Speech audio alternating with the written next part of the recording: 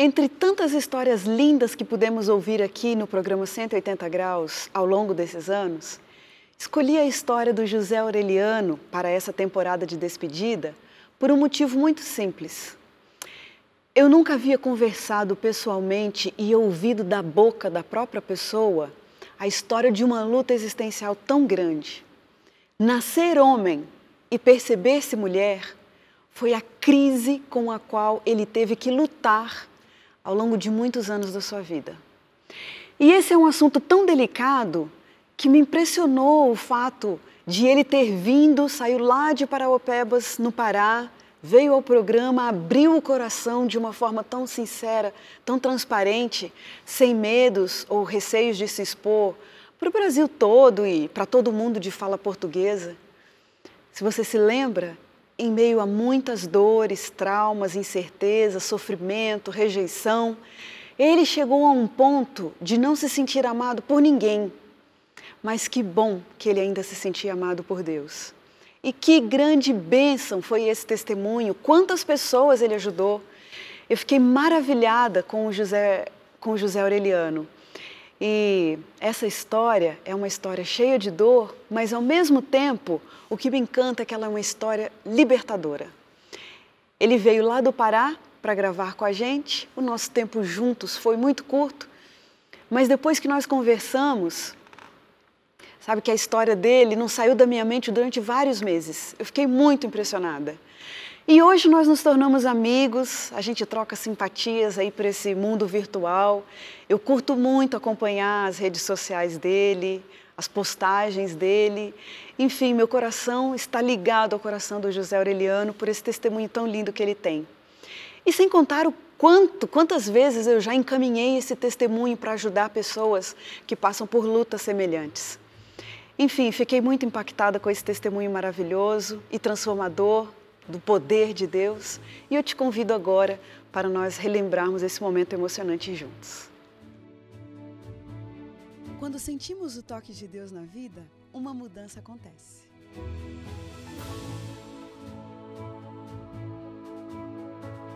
Surge à nossa frente possibilidades de felicidade plena. O toque de Deus restaura, renova, refaz.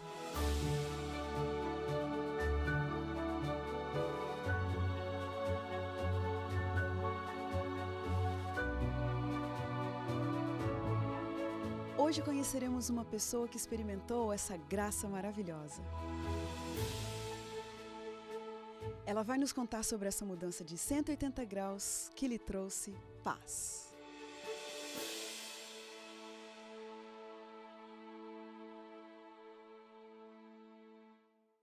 José Aureliano, que privilégio, que prazer o meu ter você aqui. Muito obrigada, viu? Obrigado você.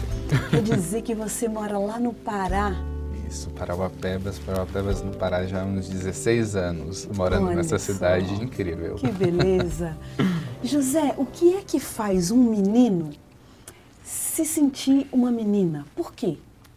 É algo estranho, né? Até para a ciência explicar porque o transexualismo, que é o transexualismo?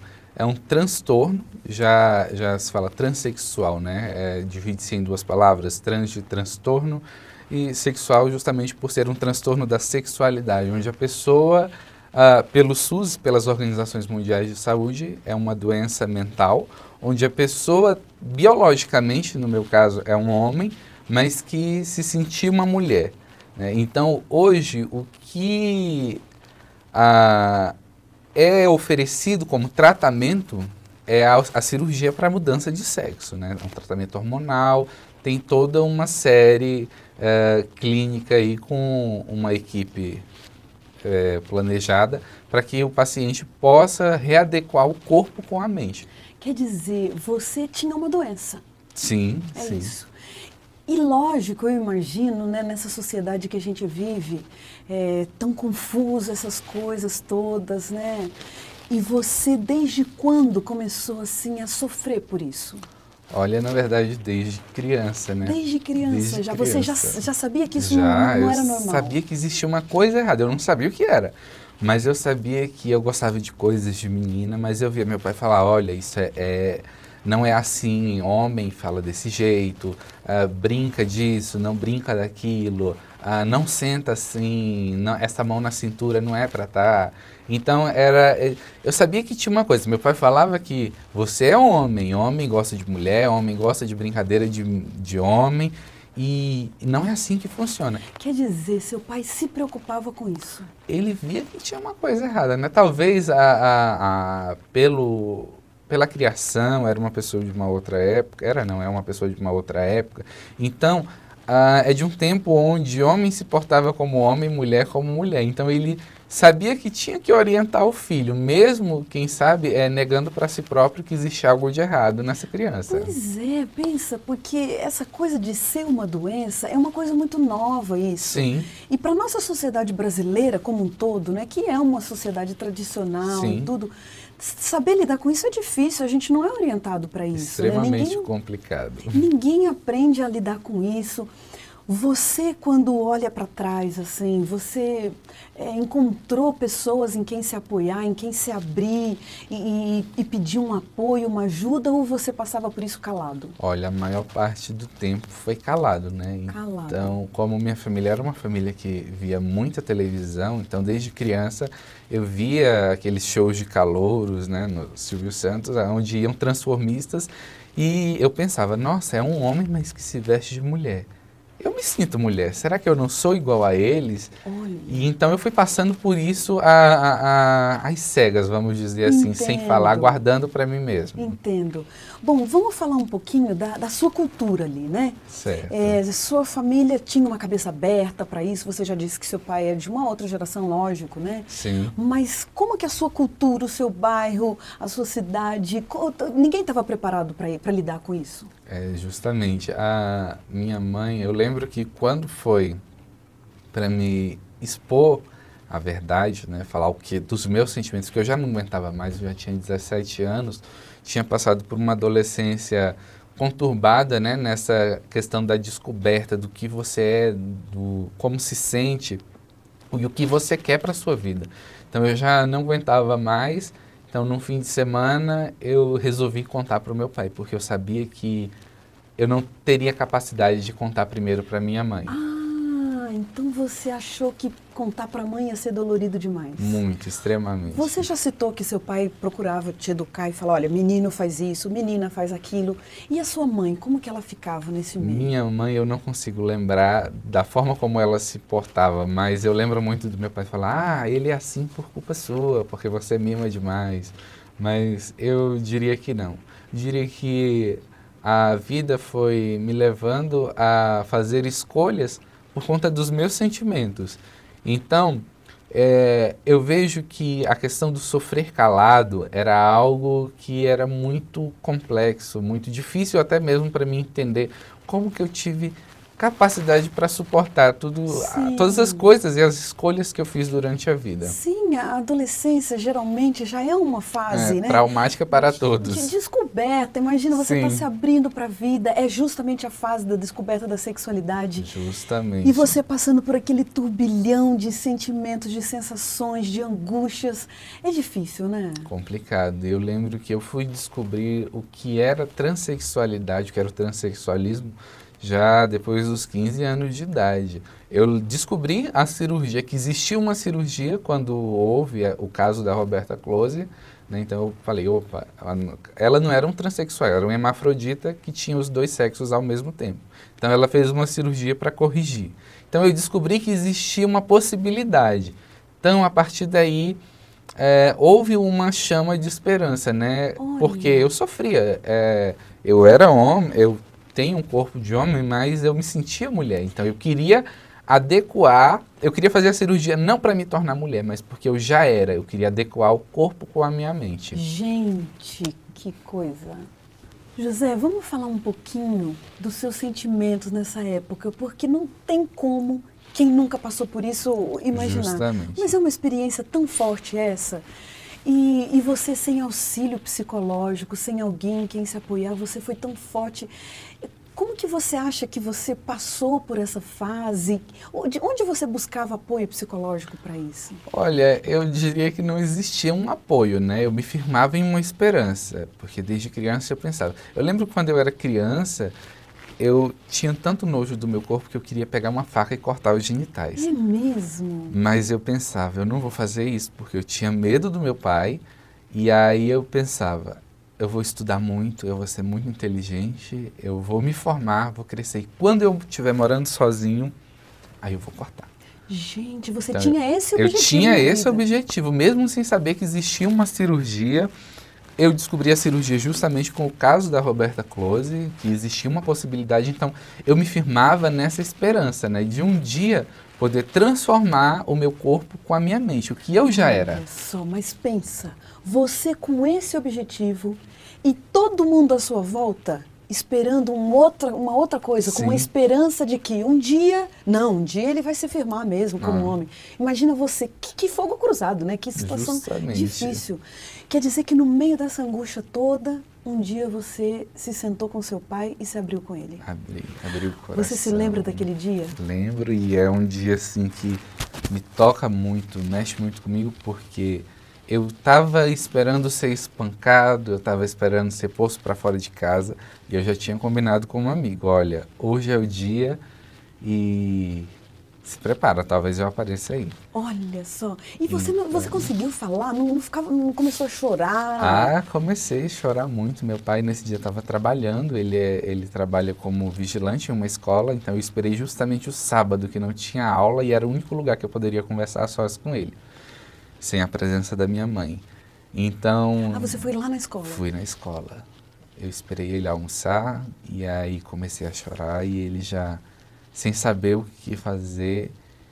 E eu falei, pai, eu sou, eu sou gay. Porque não adiantava eu falar que eu era transexual, porque para ele não ia fazer diferença Sim, o que era ou deixava é. de ser. Aí eu lembro que, que ele bomba, levantou, que bomba. Ele levantou, ele me abraçou e ele falou: Olha, quando você nasceu, que o médico saiu da sala do parto e falou: É um homem, você foi a maior alegria que eu já tive na minha vida. Então, se você quiser continuar a viver comigo, você vai ser homem. Então, ele me desarmou. Foi um. Foi algo que eu não estava pronto, não estava preparado para aquele abraço um abraço de amor. Palavras que eu jamais pensei que eu ouvi. Então, Gente, um momento marcante na sua história, né? Totalmente me desarmou, mexe Puxa, muito é comigo. É muito tocante, isso é muito tocante. E aí eu lembro que eu aceitei a condição, eu não tinha o que fazer. E aí as coisas foram abafadas com panos quentes, meus pais achavam que já estava tudo bem, resolvido. E o Mas sofrimento não estava, o sofrimento continuava. Minha mãe me mandou para Goiânia, onde minha irmã mora e aí achava que ela talvez ela pensava, ah, o que eu não dei conta, ela vai dar conta de pôr ele na linha. E as coisas só pioraram. E eu lembro Olha que isso. quando foi, isso foi em 2009, quando foi em julho de 2009 que eu voltei para Parauapebas, num sábado, à tardinha, já próximo do pôr do sol, eu cheguei na casa de um tio meu, o nome dele é Juca, e estava tendo uma classe de estudos da Bíblia. E eu me interessei porque eu era uma pessoa conservadora, uma pessoa que ama muito a família. Era não, eu sou uma pessoa que ama muito a família, sabe? Que, que preza por valores que hoje, infelizmente, estão se desgastando na sociedade que a gente vive. E eu sempre tive essa curiosidade, porque eu ouvia o que as pessoas falavam, sabe? De Deus, mas sim um embasamento bíblico e acabava que eu me sentia uma abominação. Olha. Porque a gente sabe que o que a Bíblia condena é a prática e Deus ama, ama a pessoa independente do, das escolhas dela. Sim. É por isso que nós vivemos pela Mas graça você confundia de Deus. as coisas. Sim, eu não sabia que rumo tomar. O que, que é a verdade? Então, eu me interessei por aquele estudo da Bíblia e eu comecei a debater, já estava no final, e ele falou, por que, que você não vem na semana que vem? E eu pensava, será? Será? Aí, aí eu pensei comigo mesmo, ah, por que não? Não é porque eu vou conhecer que eu vou seguir. Porque eu sabia que as minhas escolhas iam contra princípios que vêm de Deus. Então eu fui nesse estudo bíblico.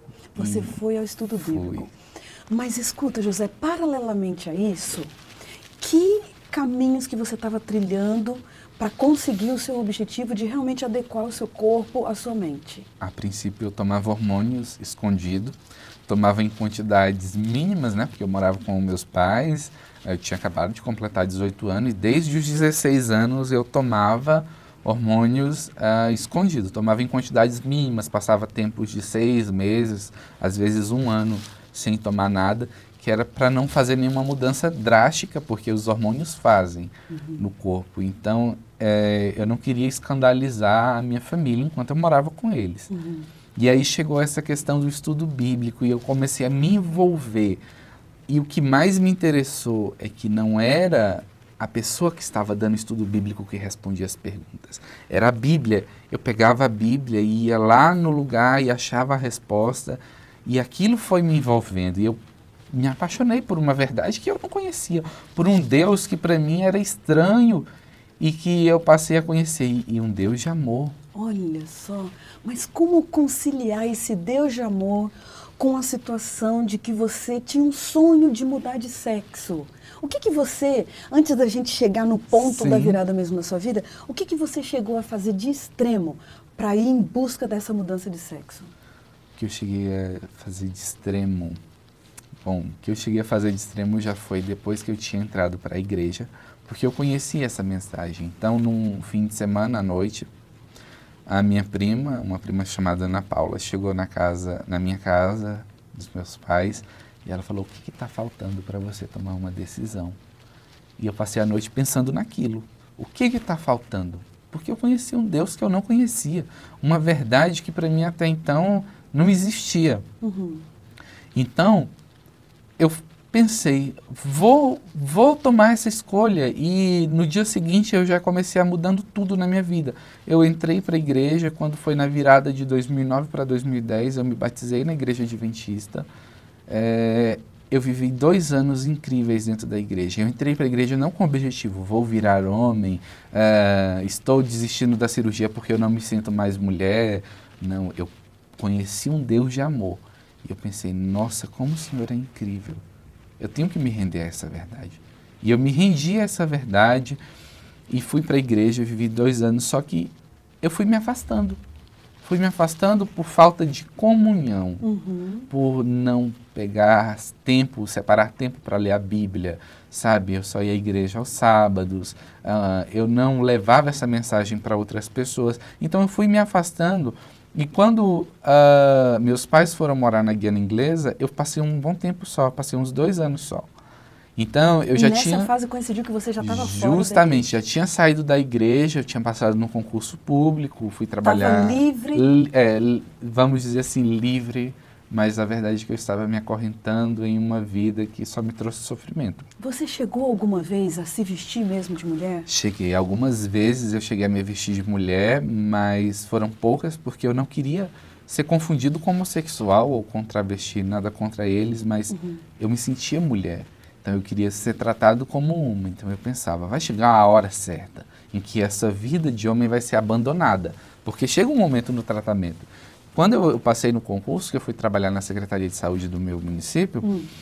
é, eu tive acessos a consulta, a receitas. Então, eu voltei a fazer o tratamento. Eu passei a me consultar com o médico endocrinologista. Eu passei para justamente por conta dos hormônios. Aí eu comecei a tomar hormônios de uma forma mais agressiva. Meu corpo começou a mudar. É, a cintura começou a ficar mais fina, os quadris mais largos, a voz oscilava entre grave e agudo, Gente. já não nascia barba com tanta frequência. Então, o corpo começou a tomar proporções femininas e o cabelo eu comecei a deixar crescer. Quando os meus pais voltaram da Guiana Inglesa, que eles viram aquela pessoa totalmente diferente, de cabelo grande, começou um certo sofrimento. Meu pai falou: corta ah, esse cabelo. Sim. Aquela perseguição. Sim, eu falei: eu não vou cortar o cabelo. E das outras vezes eu cortava, uhum. né, por obediência. E agora eu falei, não, bati o pé e eles foram obrigados a aceitar o cabelo comprido. E eles sabiam que tinha uma coisa errada, porque eu já estava fora da igreja. Sim. Mas José, fala para mim, agora você está aparecendo cada vez mais no fundo do poço, Sim. né? E, e o que, que aconteceu então que de fato selou a sua entrega para Cristo? Eu lembro que as minhas colegas de trabalho numa sexta-noite combinaram de ir numa festa no sábado à noite falaram você vai ter que ir de mulher, porque a gente nunca te viu vestido de mulher, né? Só viam as fotos e aí eu combinei, tudo bem, vamos.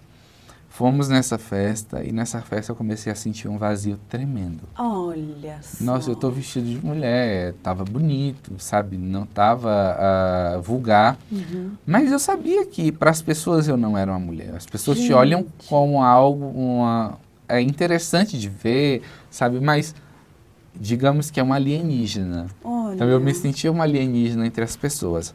E aí no dia seguinte eu passei o dia refletindo naquilo eu passei o dia refletindo que minha família estava se destruindo, tinha placa de venda na casa, meus pais falavam de divórcio e eu estava sofrendo. Eu estava sofrendo porque eu estava me destruindo. E aí as pessoas pensam: ah, mas ele era uma vítima. Não, minha família também era uma vítima. Não existe apenas um vilão e uma vítima. Ah, a família é uma vilã e o, o jovenzinho homossexual, transexual é a vítima. Não, ambos os lados uhum, sofrem. Uhum. E eu sofria por ver meus pais sofrendo, eu sofria por me distanciar de pessoas queridas da igreja, eu sofria porque eu criava uma barreira. Então eu comecei a ouvir a voz do Espírito Santo. Olha só. Volta. Ai, que coisa linda. E que foi complicado. Linda. Você abrir mão, eu falava para Deus, eu já cheguei até aqui, eu vou até o final. E o Espírito Santo insistindo Volta, sabe? E cada vez mais forte. E eu comecei a chorar. E eu lembro que eu estava arrumando meus cabelos, eu tinha um cabelo muito grande. E aí, cada vez mais o Espírito Santo incomodando, sabe? E eu vendo que minha vida estava tão destruída que eu só senti o amor de Deus na minha vida. Eu nunca senti rejeição de Deus. Uhum. Eu sempre senti Deus me chamando, sabe? Eu tenho algo melhor para você.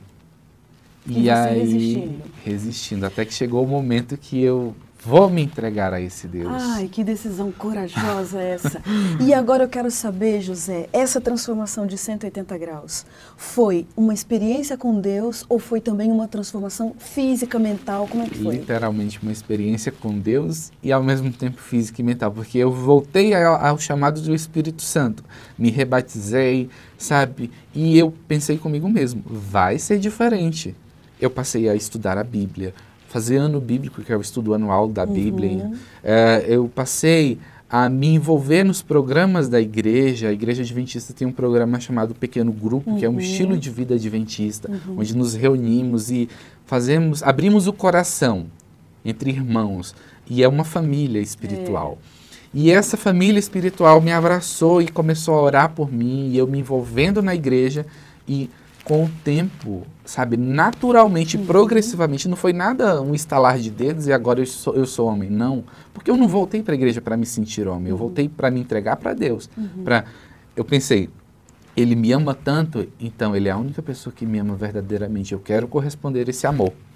Voltei para a igreja, me entreguei a um Deus verdadeiro e ao me envolver numa comunhão, Deus foi transformando a minha mente. Aos poucos eu comecei a me sentir homem, eu comecei a sentir atração sexual por Gente. mulher. Eu passei a ter prazer em me vestir como homem, que eu odiava comprar roupas masculinas.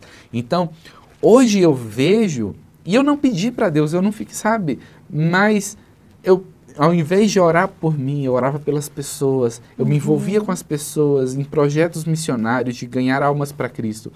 E eu vi que Deus foi transformando minha vida naturalmente, sem forçação de barra, sem pressão. Amém. E hoje eu não consigo entender como que aquele antigo José existia. É mesmo? Eu olho Parece as uma coisa desconhecida. Sim, era uma outra vida. Gente sabe? Eu não consigo entender como que eu me senti mulher. Olha. Porque hoje eu me sinto homem. Eu tenho desejo por mulher. Eu, eu tenho vontade de constituir uma família. Olha e só. as próprias meninas que trabalhavam comigo, elas falam, não tem como, você é homem. A doutora que trabalhava comigo, o nome dela é doutora Ana Paula, ela, quando eu decidi entrar para voltar para a igreja, uhum. ela falou, você está se precipitando, você vai ser infeliz. Hoje ela fala, não tem como, sua vida é um milagre. Gente, é um milagre mesmo. Ela fala, José, você é homem. Olha, graças a Deus, e a gente só tem que dizer, isso. louvado seja o nome seja do nosso nome. Senhor Amém. Jesus Cristo. Glória a Deus. Que história maravilhosa. Amém. José, a gente poderia ficar conversando horas e horas a Sim. mais, mas vamos lá para o nosso momento aqui das perguntinhas, rapidinhos? Ok. Pai. Um grande amor. Um sentimento constante. Salvação. Um perigo. Escolhas.